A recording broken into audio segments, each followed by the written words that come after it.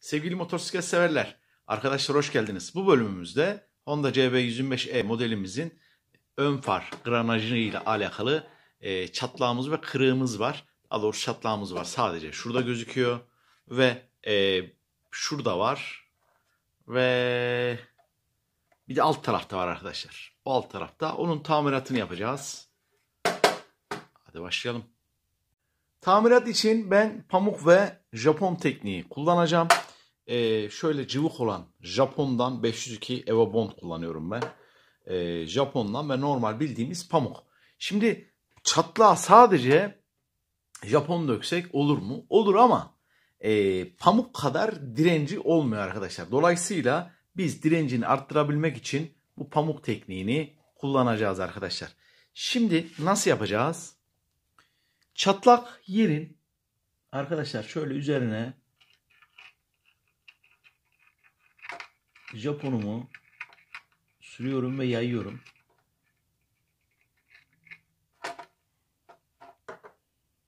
Ve sonra pamuğumu üzerine şöyle koyuyorum arkadaşlar. Pamuğumu biraz daha şöyle uzatacağım. Ve yaydığım çatlağın üzerine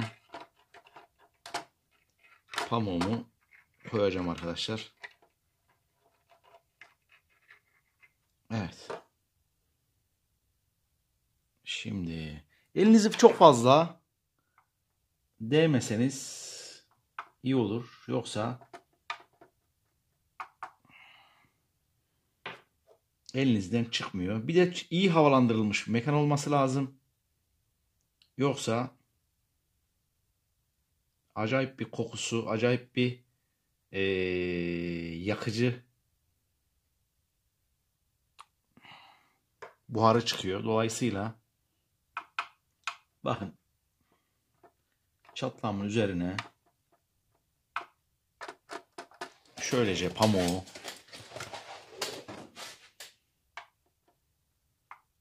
koyduktan sonra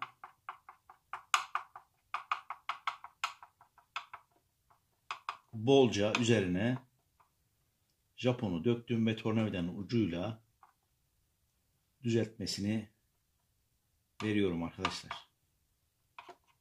Bazı Japonlarda maalesef döker dökmez sertleşiyor.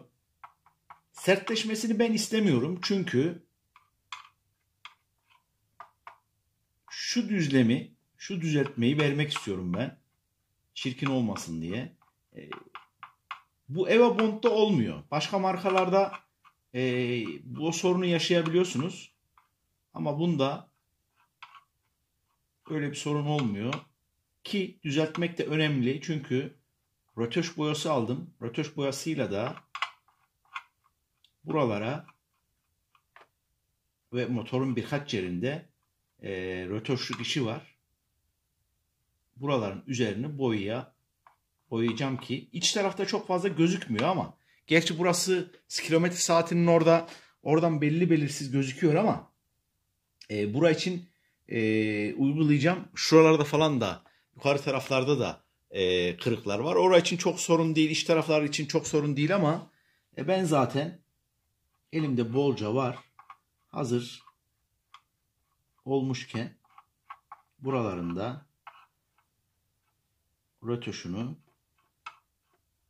atmak istiyorum arkadaşlar. Evet. Bakın güzelce oldu. Burayı kurumaya bırakalım. Bir diğer çatlağımızda tam da şurada. E, öncesinde ben buralara e, arkadaşlar çatlağa Japon döktüm ve yapıştırdım. E, daha fazla sağlamlık verebilmek için de pamuk desteğini yapacağız arkadaşlar. Şimdi bakın altına bir kap koydum. E, alt tarafı boş olsun istedim arkadaşlar. Sızan Japon eğer arka tarafa Japon sızdırırsak e, naylona yapışıp da altta bir çirkin e, görüntü oluşturmasın diye çok fazla da zaten Japon dökmemeye özen göstereceğim arkadaşlar. Şimdi yeteri kadar şöyle pamuk yeterinden fazla olmuş. Şöyle biraz e, pamuk aldım.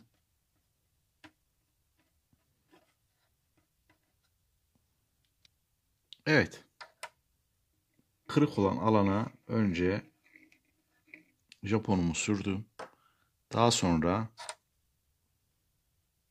pamuğu kırık yerin üzerine koydum.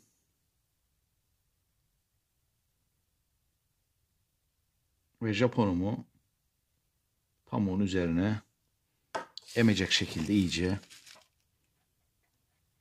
döktüm arkadaşlar. Şimdi de düzeltme işlemini yapabiliriz dostlar.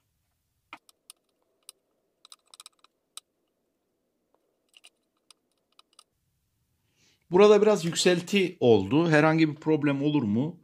Ee, kesinlikle olmaz. Çünkü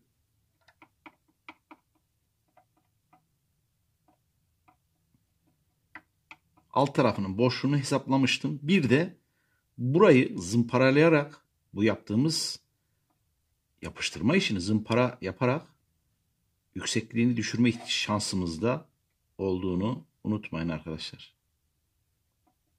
Evet çok fazla oynamayacağım. Zaten pamuğu e, düzlemiştim ben. Bu da bu şekilde oldu arkadaşlar. Evet bunu da kurumaya bırakalım. Grenajımızın son kırık yerini de arkadaşlar tamir edelim. Bakın şurada var.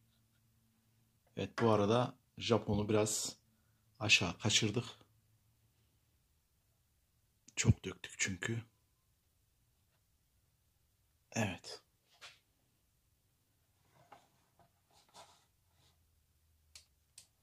Şöyle yan çevirdim.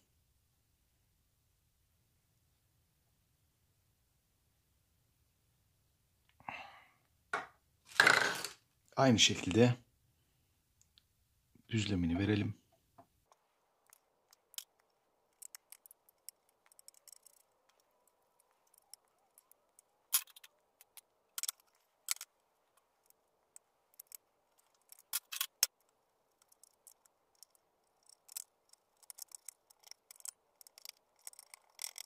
Evet.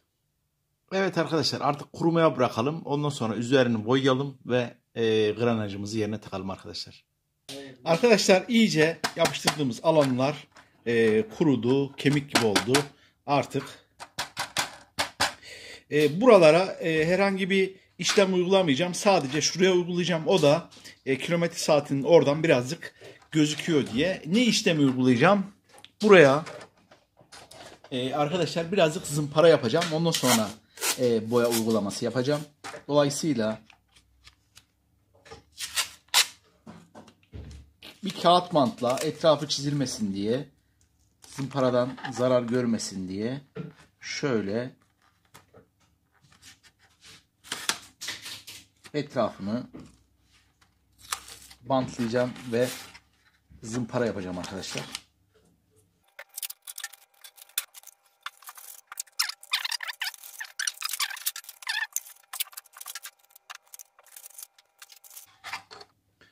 Önce kalın bir ahşap zımparasıyla şöyle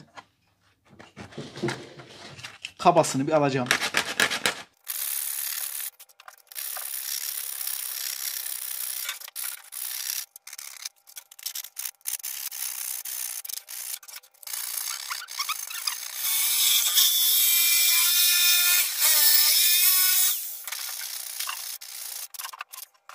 Arkadaşlar bir de ince zımpara atacağım.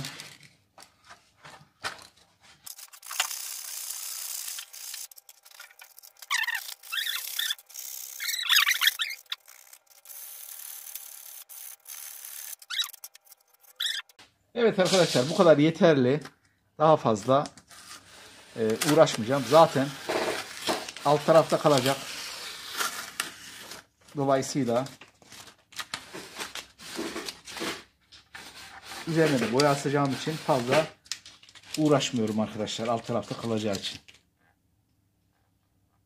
Arkadaşlar sıra geldi e, boyamızı yapmaya. E, Kayseri Otosanayi'de Tekim Boya'ya e, bu ön farımızın dışındaki granajı götürdük. Ona göre e, adamlara e, boya, özel boya yaptırdım. Sadece burası için değil, diğer yerler için de e, kullanacağım. Hem motorun birkaç yerinde daha e, aynı çizilme problemleri var. Ona rutuş içinde aldım. 100 gramını 30 liraya yapıyorlar. Hemen onun bilgisini de vereyim. Çünkü böyle sık sık e, soruyorsunuz. Bakın şöylece. Evet. Şöyle bir boya kalemiyle boya kalemi nereden çıktı? Sulu boya e, fırçasıyla arkadaşlar boyamamı yapıyorum.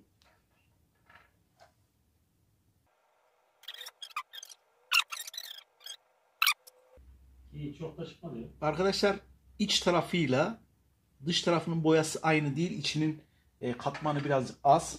Dolayısıyla birebir uyumlu olması da beklenmez zaten.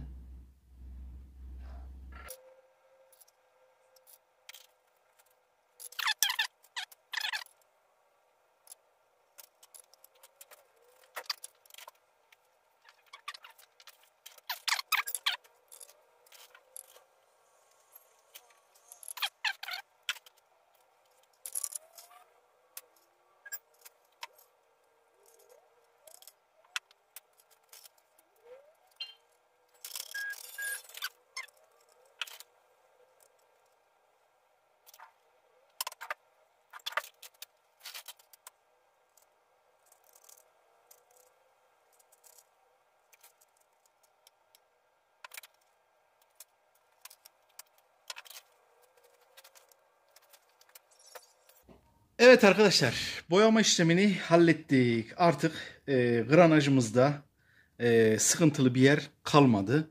Bakın şuralarında e, rutuşluk işlemler var. Oralarında e, bir sonraki e, çalışmada komple rutuş işini de o videoda göstereceğim arkadaşlar. Peki dostlar böylelikle de eğer granajınız kırılırsa bu şekilde tamir edip rotuşunu da bu şekilde atabilirsiniz arkadaşlar. Peki dostlar böylelikle de bir çalışmamızın daha sonuna gelmiş olduk. Bir sonraki çalışmada buluşmak ümidiyle kanalımıza beğenip abone olmayı, sosyal mecralarda paylaşmayı ihmal etmeyin. Allah'a emanet olun. Hoşçakalın dostlar.